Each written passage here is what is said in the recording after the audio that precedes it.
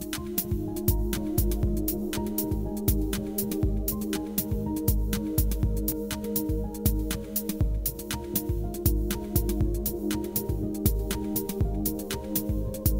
Markmið okkar með útvistuna og upplýsingarekstri bankans var að skapa sigurum til að einbita okkur að stefnumótandi og samkjöfnislega aðgrandi verkefnum. Við vildum efna til samstarfs við aðila með meiri skala og yfirbara þekkingu og þeirri tekni sem bankin ætlar ekki aðgrana sig á. Auk þess að vildum við ná fram rekstaralegu hagræði og að lókun langað okkur að viðhalda sambarlega betra rekstaralegu öryggi og þjónustu.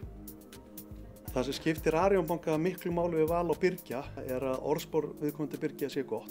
Gæði þjónustunar sem verður að bjóða sé viðöndi, að það sé líklegt að viðkomandi byrki styðji við stefnu og vegferð bankans fram í tíman og viðkomandi hann þarf að geta framkvæmt það sem um er að samið, auk þess að þekking starfsfólks og þekking á starfsumhverfi fjármála fyrirtækja skiptir greiðarlega miklu máli. Arjónbanki er að leggja staði samstarri nýherja til að ná fram hagraðingur ekstra upplýsingatækning kjara. Til að svo megi verða þá þurfa Arjónbanki og nýherja að gera með sér virt viðskiptasamband sem byggir á virðingu, trösti og auðmík.